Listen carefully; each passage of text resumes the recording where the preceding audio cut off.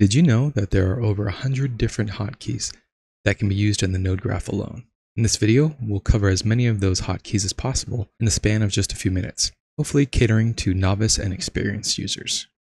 Starting off with this text node, let's talk about how we can use hotkeys to toggle on and off some of the node options without even having to open the node properties. Now for demo purposes, we'll open the node properties so we can see what is happening. So let's take a look at the node tab here. Most nodes will have a node tab. And at the bottom of the window, we can see some options that relate to this node. We can toggle these checkboxes on or off with hotkeys. To hide any input pipes into the node, press Alt H. Alt H. You'll see that turns on the checkbox for us. This hotkey is particularly useful to hide viewer inputs. So if I select my viewer, Alt H, click off that, you'll see there's no longer that dashed or dotted line from the viewer to the node. If you want to cache the node so that it can be reread quickly, press Ctrl B, Ctrl B, and a yellow line will appear under the node to indicate caching is enabled. Of course, pressing D on the keyboard will disable the node and put diagonal lines through the node indicating that it is disabled. If the node contains any animated values, this scaling was animated, and you want those to appear in the dope sheet regardless of whether the node properties panel is open, then tick on the dope sheet checkbox or press Alt D on the keyboard. If I close that out now, you'll see I still have that node represented in my dope sheet. If this is a node that you will revisit often, then bookmarking this node by pressing Ctrl Shift B will add this node to the bookmark search menu so when you press J in the node graph, you can recall that node. Finally, we have the option to postage stamp this node with a thumbnail view by pressing Alt P. Alt P. But note that adding the little thumbnail view does reduce script performance if there are a lot of thumbnail views being used throughout, so use them when necessary. A couple of other useful hotkeys relating to the node itself are while in the node graph with the node selected, pressing N will allow you to name the node. Make sure you have the node selected and then pressing Ctrl, Shift, and C. This will allow us to change the color of the node. So that we have a little more to work with, we'll add a few more nodes to the tree here by pressing B, C, K, M, O, P, and T. It should be noted that if we hold down Shift while pressing B, C, K, M, O, P, or T, then each of these nodes will be added to a horizontal branch coming off of the previous node. Let's take a look at that. Hold it Shift, E, C, K, M, O, P, T. So you can see how that built that out horizontally for us. Now let's select all the nodes with a hotkey, making sure we have the last node selected in the tree. Press Ctrl, Alt, A to select all of the connected nodes to this tree. With the nodes selected, Let's create a group of these nodes. But rather than pressing Ctrl G to group them, let's press Ctrl, Alt, Shift, and then G to create a group from these nodes. So we're right now looking inside that group node, but if we go back to the main node graph, we'll see we created a group based off all of the nodes we had selected.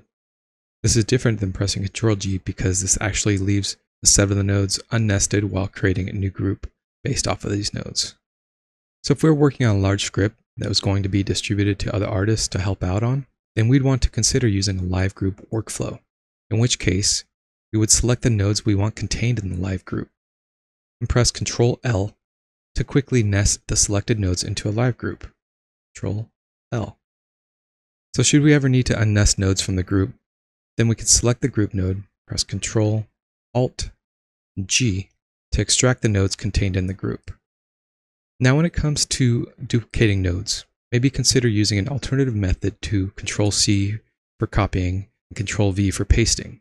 Try using Alt C, which will duplicate the nodes. Alt C.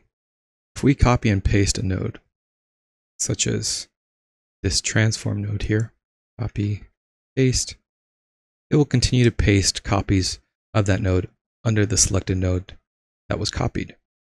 But what if we want to paste copies of the node that are only attached to the node above it. So let's select a node that we want to branch off of. Say this one right here, this rotopaint. Press Alt B. Alt B. And see, this will duplicate the selected node and start a separate branch. I can keep pressing Alt B. And you'll see that continues to branch off from the node that was right above it. If we've copied a node from elsewhere, but want to start another branch off of a selected node, so we'll copy this transform down here. We want to start a branch off of this node here. Then we can press Control Shift and V, and that'll begin its branch off of that node there. This saves us the trouble of pasting the node, then having to connect the input pipe. From here, we can select the duplicates, which is these ones there, and press L to line them up in a row. Another alternative to copying and pasting would be to clone the node by pressing Alt K. Take this transform here, press Alt K.